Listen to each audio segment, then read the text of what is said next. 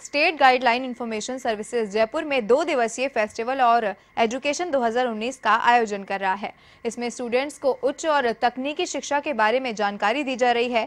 दो दिवसीय education festival में संस्था और सरकार की भागीदारी से युवाओं को कैरियर बनाने के लिए मार्गदर्शन दिया जा रहा है, जहाँ आर्ट एंड क्राफ्ट के साथ साथ युवाओं को तकनीकी और मैनेजमेंट की जानकारी के लिए स्टॉल लगाकर युवाओं को प्रैक्टिकल नॉलेज दिया गया है। और साथ ही कैरियर गाइडलाइंस पर भी सेमिनार आयोजित किए गए हैं।